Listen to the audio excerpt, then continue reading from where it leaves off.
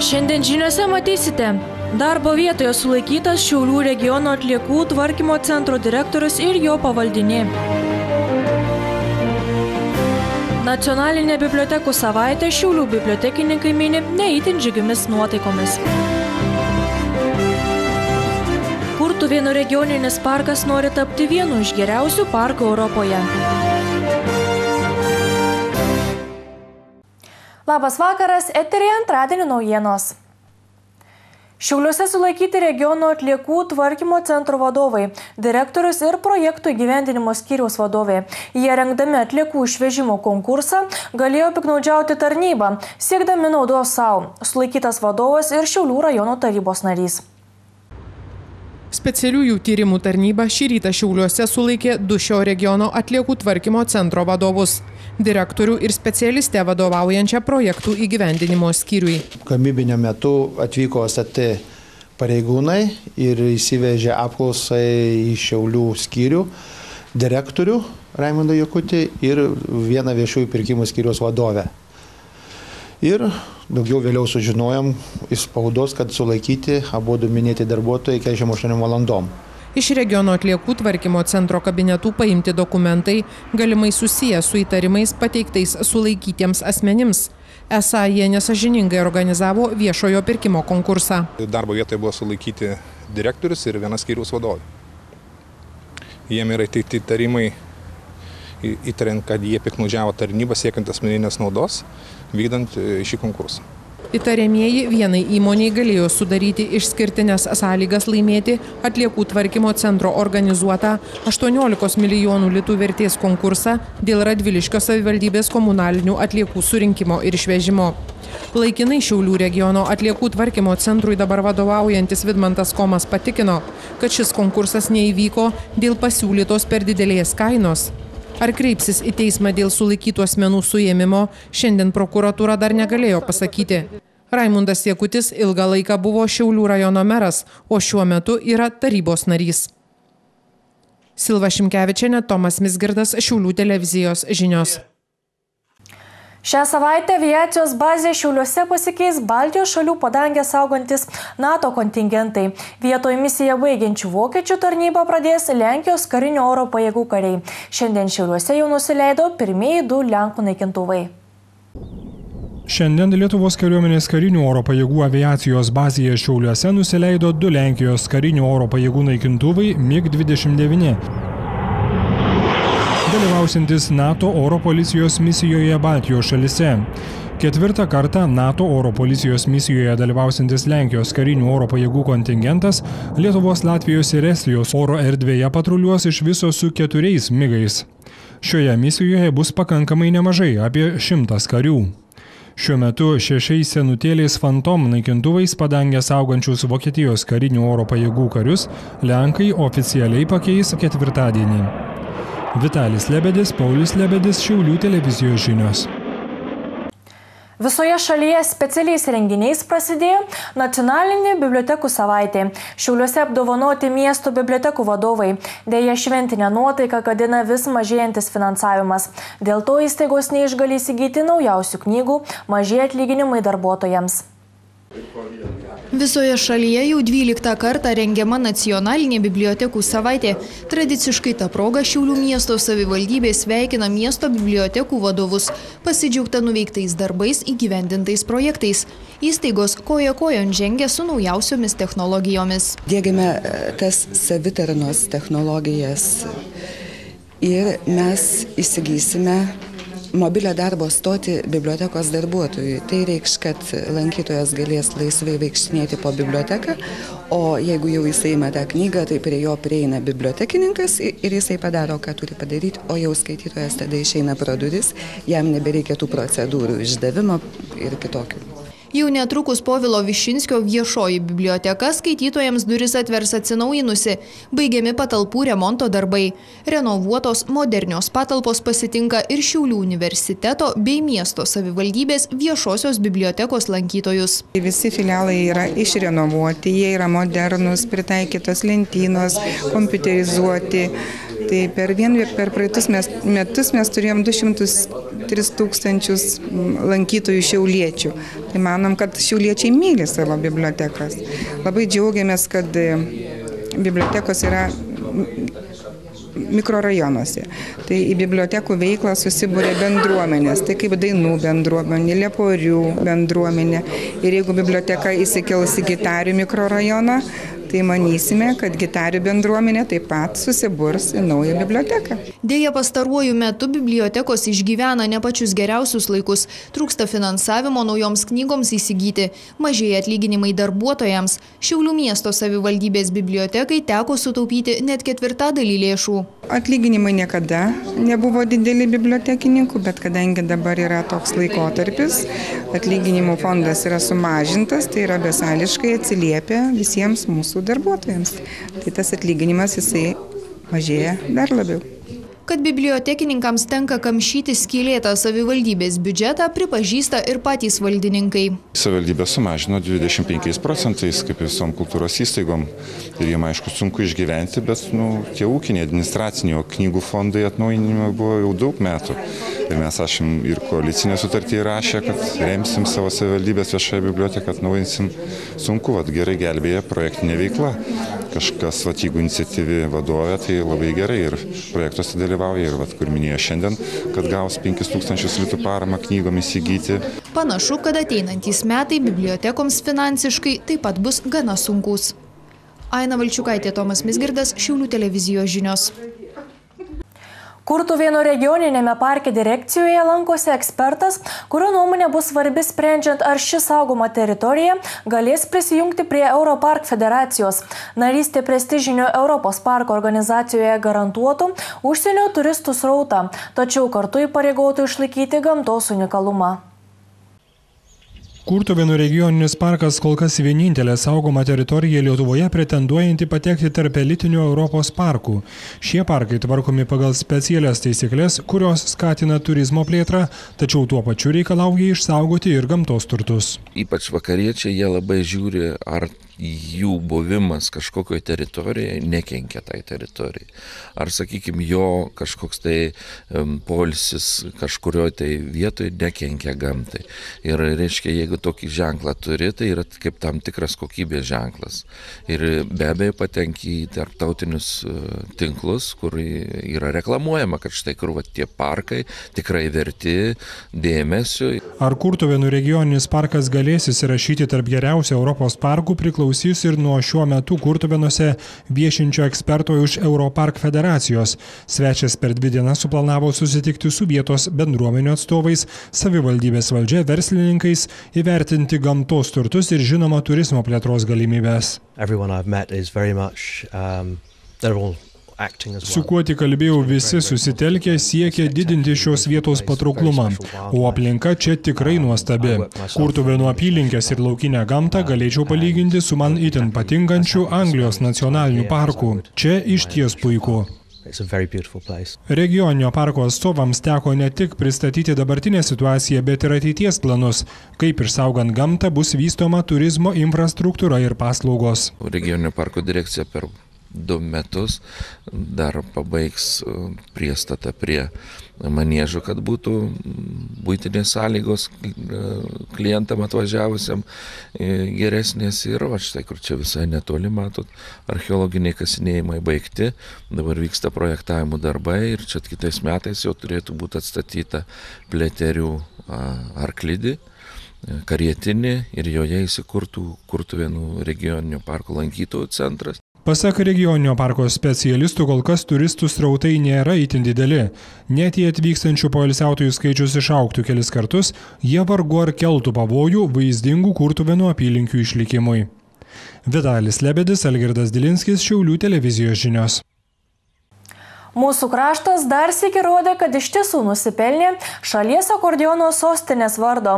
Per pastaruosius du mėnesius net trijose tarptautiniuose konkursuose įveikusi konkurentus, net iš kelių šalių svarbiausia priza Grand Prix pelnė Saulius Ondeckio menų mokyklos auklėtinė.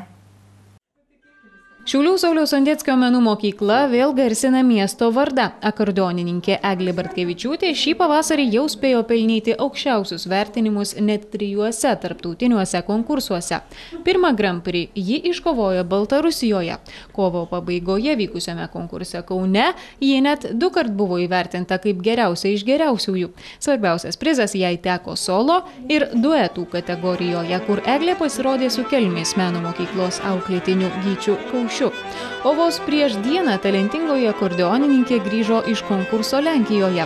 Būtent ši kelionė ir iš jos parsivežta pergalė, pasak Eglės mokytojos Marytės Markevičienės, pati ryškiausia. Tai buvo Lenkijoje vykęs konkursas Sanok 2012. Tai vienas e, iš pačių prestižiškiausių konkursų yra. Ir jame dalyvauti buvo tikrai labai nelengva ir tas laimėjimas mums yra dar svaresnis. Ir vėlgi, Eglės kategorijoje dalyvavo 27 dalyviai, jinai viena buvo mergina ir viena su klavišais grojo ir čia jai taip pat pavyko laimėti pirmąją vietą. Eglės mokytoja pasakoja, kad kiekviename konkurse, kur kviečiami tik geriausi jaunieji muzikai, konkurencija visad labai didelė. Visi dalyviai demonstruoja nepriekaištingą atlikimą, tačiau šiauliečiai komisijos dažniausiai minimi kaip vieni ryškiausių. Ypatingai daug vertinimų sulaukia Eglė. Kaip ir kiekvienam konkurse turbūt svarbiausia yra kokybė, bet manau, kad labai svarbu yra ir atlikėjo asmeniniai bruožai, jo individualūs gebėjimai. Aš nebijau leisti eglės į bet kokį konkursą. Jis turi savąjį aš ir tuo išsiskiria iš kitų atlikėjų, kurie taip pat tvarkingai viską padaro, bet galbūt neturi savo viduje to, ką turi eglė. Eglė Bartkevičiūtė prisipažįsta vertinanti dalyvavimą, įgautą patirtį ir pelnytas pergalės kiekviename konkurse. Tačiau Grand Prix iškovotas Lenkijoje tikrai vienas įspūdingiausių įvykių. Po jo norisi iškelti kartelę savo pačiai dar aukščiau. Ten galbūt buvo ir sunkiausia, ir didžiausia garbė laimėti. Iš tikrųjų, aš tikrai nesitikėjau, kad gausiu pirmą vietą galvojau, kad būsiu žemiau ir tai būtų mane labai tenkinę. Tikrai va, tas konkursas labiausiai mane džiugina. Yra planuose dalyvauti rudenį konkurse Kastalfitardo, tai taip pat dar prestižiškesnis konkursas ir manau, norėčiau užaukti iki to konkurso ir ten sudalyvauti. Tikrai būtų labai didžiulė garbė. Artimiausių metų Eglės Bartkevičiūtės laukia dar vienas reikšmingas įvykis. Talentinga jaunoji akordeonininkė pagaliau gaus įsvajotą profesionalų instrumentą, kurį jai dovanoja rėmėjai. Viktorija Grušaitė, Algirdas Dilinskis, Šiaulių televizijos žinios. Šiaulių kultūros centre atidaryta net 70 autorių paroda. Tai Šiaulių gegužių progymnazijos aštuntokų baigiamųjų darbų ekspozicija. Jau 40 metų ypatingą dėmesį menams skirianti gegužių progymnazija savo auklėtinių kūrybą pristatė ir miesto bendruomeniai. Kultūros centre atidaryta 8 klasių mokinių baigiamųjų darbų paroda. Joje 70 autorių kūryba. Didžiulės apimties ekspozicija, pasak kuratorių, kaip niekad džiugina. Darbai aukšto meninio lygio, saviti, įdomus, bet to čia galima pamatyti įvairiausius stilius, žanrus, susipažinti su net keliomis atlikimais atlikimo technikomis. Baigiamųjų darbų paroda, kurią gali aplankyti visi šiauliečiai ir miesto svečiai, skiriama ir gegužių progymnazijos jubiliejui, šiemet minimam 40-mečiui. Viktorija Grušaitė, Algirdas Dilinskis, Šiaulių televizijos žinios. Toliau matysite kriminalų, sporto ir orų rubrikas. Ačiū, kad žiūrite gražaus vakaro kartu su Šiaulių televizija. Iki. Kai visur kainos kyla, Melgoje mažesnės nei pernai. Melga - laikas keisti ratus.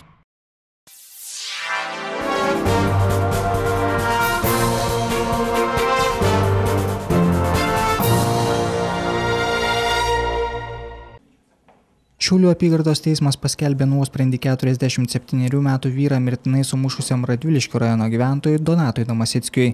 Vyras pripažintas kaltu ir nuteistas devyneriems metams nelaisvės. Tragiškas konfliktas Augmenų kaime įvyko pernai Liepą. Bylos duomenimis Damasickis svečiavosi aukos namuose. Vyrai ir kartu buvusi šeimininko draugė vartojo alų. Po kiek laiko moteris Damasitski pasikvietė į kitą kambarį. Čia juos besiklamonėjančius aptiko šeimininkas. Vyrai apsikumščiavo. Per incidentą šeimininkui buvo smarkiai sumušta galva. Po kiek laiko vyras pasijuto blogai ir buvo išvežtas į ligoninę. Rūpiučio viduryje jo gyvybė užgeso. Damasickis ligonių kasai už aukos gydimą turės atlyginti daugiau kaip 11 tūkstančių litų. Neturtinę žalą 30 tūkstančių litų nužudytojų artimiesiems Damasickis jau atlygino. Šiauliuose nuteisti trys asmenys, kurie kerštaudami šiauliečių už teisme duotus parodymus padegė jo motinai priklausantį automobilį. Teismas kaltais pripažino tris asmenis - 25 Židrūnas Šauklys nuteistas trejiems metams ir dviems mėnesiams nelaisvės, 30 metis Evaldas Gorys metams ir trims mėnesiams, 53 Virginijus Dovidaitis 50 parų. Automobilį Mitsubishi trijulė padegė pernai gegužę. Vyrai iš pradžių norėjo sudeginti šiauliečių automobilį Volkswagen Golf, bet nerado jo kieme, todėl nusprendė padegti jo motinai priklausantį Mitsubishi. Trijulė buvo sulaikyta netoli nusikaltimo vietos. Vienam iš jų buvo nustatytas lengvas, kitiems dviems vidutinis girtumas. Visi nuteisti asmenys policijai buvo žinomi ir anksčiau. Šauklys praeitie teistas penkis kartus.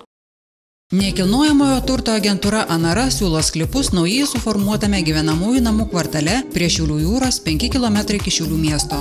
12 sklypų dydžiai nuo 12 iki 52 arų. Mažiesiems sklypams suformuotas bendras pležas prieplauka. Visi didieji sklypai su prieimu prie vandens ir su numatyta rekreacinio pobūdžio statyba. Ties pakrantės riba pirtis Elingas Poilso namelis. Gyvenamas namas statomas 70 metrų nuo pakrantės, suformuotas geras privažiavimas, nutiestos komunikacijos, elektra, nuotekų vamzdynas, yra galimybė atsivesti dujas. Kaina nuo 3500 litų žarą. Galimi įvairūs keitimo į kitą nekilnojamą į turtą variantai, mokėjimo atidėjimas. Įspūdingas vaizdas iš Jūlių jūrą, gaivus oras, palankios sąlygos statybai. Visa tai vertinga investicija. Anara.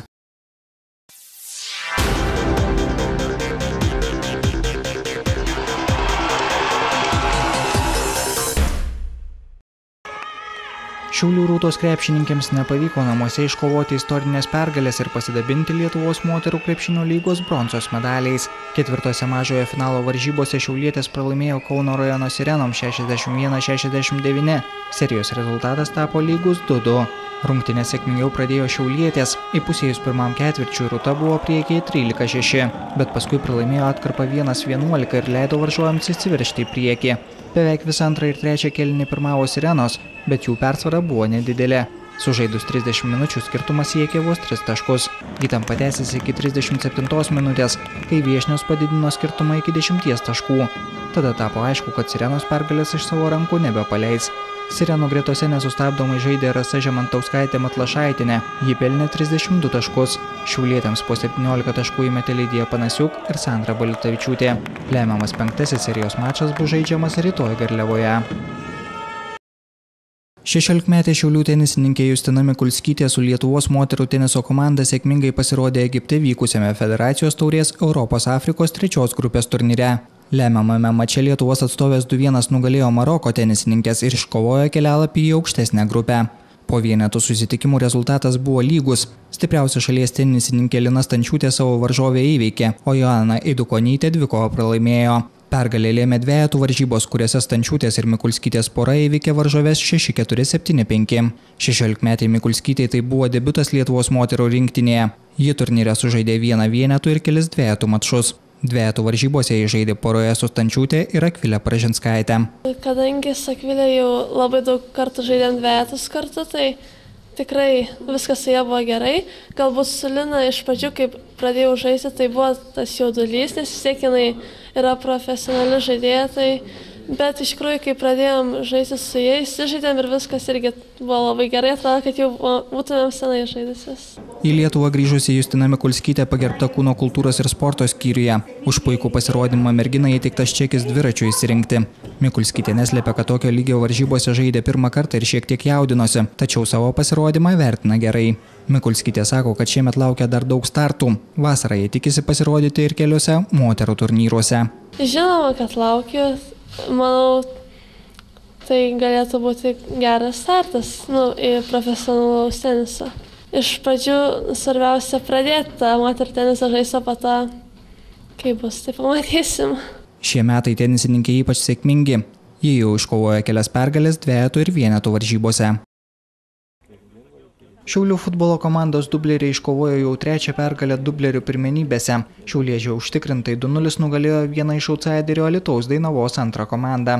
Abu įvarčių šiauliečiai pelnė pirmoje žaidimo pusėje. Jau septintą minutę po kelių perdavimų baudos aikštelėje kamolį į vartus pasiuntė Davidas Medžiaušis. Antrą kartą kamolį iš tinklo varžovai traukė 41 minutę, kai elitiškių vartininką nuginklavo Rokas Gedminas. Antrame kelnyje iniciatyvą perėmė svečiai, bet realių progų komanda nesukūrė. Po septynių turų 10 taškų surinkę Šiaulių dubleriai užima penktą vietą turnyro lentelėje. Tuo tarpu pagrindinė komanda ir toliau persekioja nesėkmės. Savaitgalį Lietuvos futbolo lygoje pralaimėta Lietuvos Dainavos komandai. Vienintelį įvartį Elitiški pelnė 52 minutę. Vėliau realių progų pasižymėti turėjo abi komandos, bet rezultatas nepakito. Tai buvo jau penkta Šiaulių nesėkmė aštuntose varžybose. Septynis taškus surinkusi Šiaulių vienolikė yra šeštoje vietoje ir nuo aukščiau esančios Dainavos jau atsilieka penkiais taškais.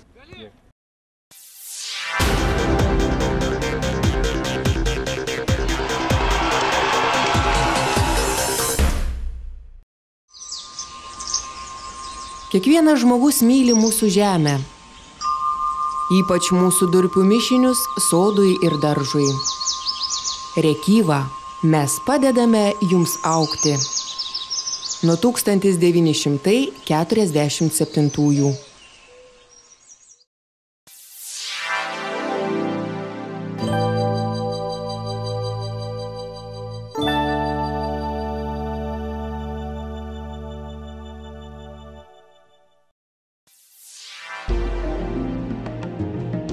rytojaus pradės pastebimai šilti, tačiau turėtų būti kiek tvanku ir dar apsiniaukę. Trečiadienio naktį sinoptikai žada 8 laipsnių šilumą. Rytoj dieną oro temperatūra pakils jau iki 14-16 laipsnių. Protarpiais lynos bus debesuota. Vėjas pietvakarių krypties silpnas.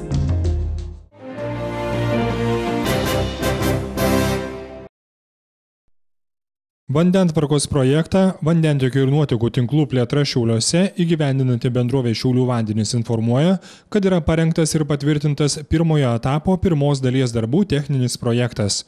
Netrukus dar šį mėnesį vandentiekio ir nuotekų tinklų statybos darbus vykdanti Vokietijos kompanija Meyer John kitapus senųjų pabalių besiformuojančio kvartalo gatvėse pradės pirmuosius statybos darbus. Darbai bus vykdomi Treniotos, Lizdeikos, Piktmiškio, Traidenio, Žemynos, Šonos, Švendrelio, Vėkės, Šimšos, Pramonės, Šiladžio, Luponės ir Serbentų gatvėse. Gyventojai pageidaujantys susipažinti su rangovo parengto techninio projekto sprendiniais gali kreiptis į uždarąją akcinę bendrovę Šiaulių vandenis Vytauto gatvė 103 į 301 kabinetą. Bendrovės specialistai plačiau paaiškins prisijungimo prie vandentiekio ir nuotekų tinklų tvarką, projekto naudą, kokiu grafiku bus tiesiami tinklai. Norint prisijungti prie nutiestos vandentiekio ar nuotekų tinklų atšakos, sklypo savininkui bus reikalingas supaprastintas statinio projektas.